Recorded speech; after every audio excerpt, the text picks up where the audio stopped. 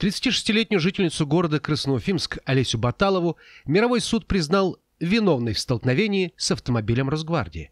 Доводы обвиняемой о том, что патрульный автомобиль двигался на красный и включил спецсигналы за мгновение до столкновения, что лишило Олесю возможности заблаговременно предпринять торможение и предоставить ему преимущество, суд расценил как избранную линию защиты с целью избежать ответственности.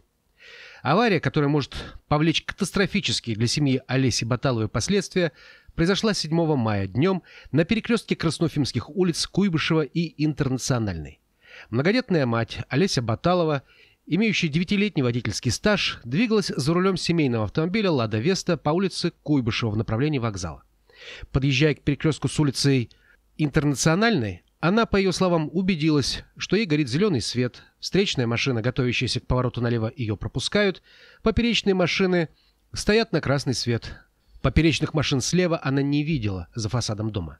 Однако при въезде на перекресток прямо перед ней возник патрульный УАЗ вневедомственной охраны войск Нацгвардии России.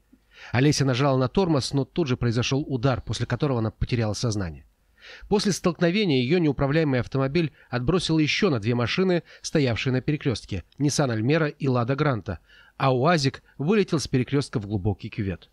Как надо было лететь, чтобы так улететь? Офигеть. Прибывший на место происшествия муж Олеси спросил у водителя УАЗа, как так получилось, на что получил лаконичный ответ «так получилось». Но уже позже в протоколе, составленном инспектором ДПС, Олеся увидела объяснения водителя УАЗа, в которых утверждалось, что тот притормозил перед перекрестком, убедившись, что все видят патрульную машину и пропускают ее. Также водитель Александр утверждал, что он двигался со включенными световыми и звуковыми сигналами.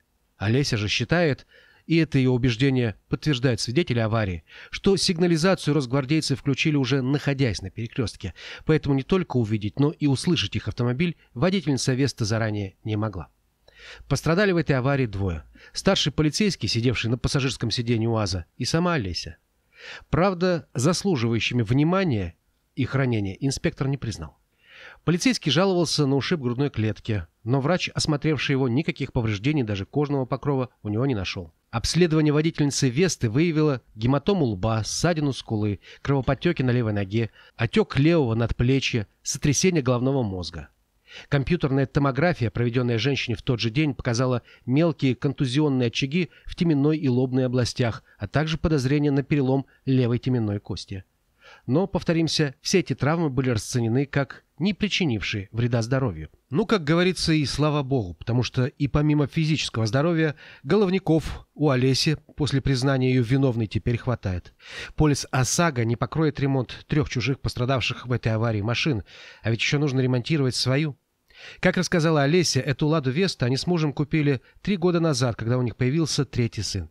Мальчик родился инвалидом, и его нужно регулярно возить в Екатеринбург на реабилитацию за 200 километров. Да и чувство несправедливости, проявленное к ней судом, как считает Олеся, не дает ей покоя. Да, она признает, что не пропустила патрульный автомобиль, но не потому, что сознательно нарушала ПДД, а потому что физически не могла этого сделать. Запись уличной камеры опровергает слова водителя вневедомственной охраны о том, что он притормозил перед перекрестком, убедившись, что его пропускает. Никакого торможения не видно. Как не видно на этой записи никаких спецсигналов до самого момента столкновения. Но почему-то суд, по ее мнению, учел все. Показания второго участника ДТП, протокол, составленный на месте аварии инспектором, даже ее ранний штраф за нарушение ПДД. Все, кроме самого объективного доказательства – видеозаписи. К слову, надеемся, что в суд была предоставлена запись лучшего качества, чем попала к нам. Учтя смягчающие вину Баталовой обстоятельства в виде наличия у нее трех детей и отягчающие в виде уже имевшегося административного штрафа за нарушение ПДД, мировой судья третьего участка Краснофимска наказал Олесю штрафом в размере 4000 рублей, который в случае погашения в течение 20 дней может быть сокращен до 2000.